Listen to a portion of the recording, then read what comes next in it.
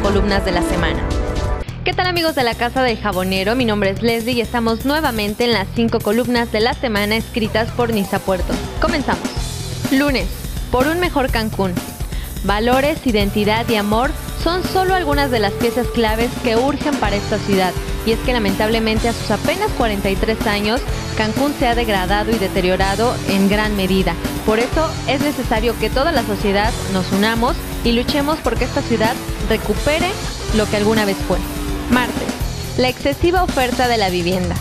Hablando precisamente de los problemas sociales que hay en Cancún, tenemos que llegar al exceso de casas que hay. Y es que son cada vez más fraccionamientos los que hay por todas partes que muchas veces ni siquiera sabemos que existen y que este exceso de casas que nadie ocupa pues se convierten en uno de los principales problemas para toda la ciudad porque al irse la gente a estos lugares tan alejados hacen falta servicios como el agua, la luz y que pues simplemente el ayuntamiento no se da abasto. Por eso urge ponerle un alto a este crecimiento desordenado por completo de casas en Cancún.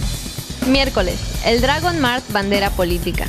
Pues entre la poca información que han brindado los encargados del gran proyecto Dragon Mart y la guerra sucia que hay entre los distintos gobiernos, pues simplemente se ha convertido en una desinformación total para la sociedad.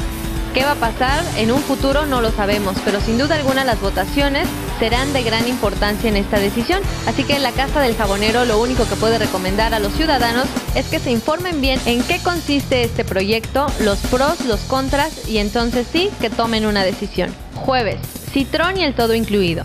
Esta semana Roberto Citrón tomó protesta como el líder de los hoteleros y sin duda en sus manos tiene una gran decisión, apoyar o no al todo incluido.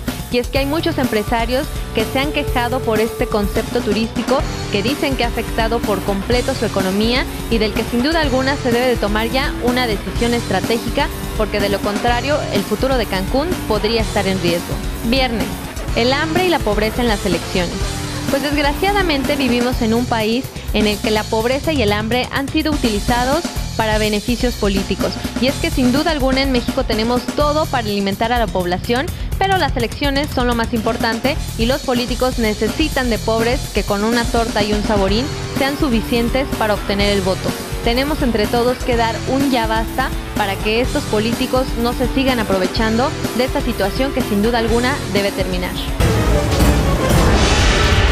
las cinco columnas de la semana. Pues bueno amigos de la Casa del Jabonero, estas fueron las cinco columnas de la semana escritas por Nisa Puerto. No olviden visitar nuestra página en internet, nuestra página de Facebook, en Twitter.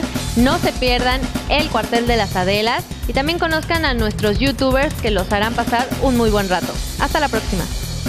Desgraciadamente, pues...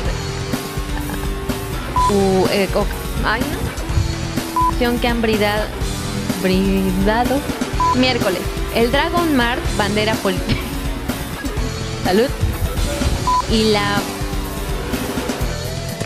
y del que se te ve de monito pellito, monito pellito.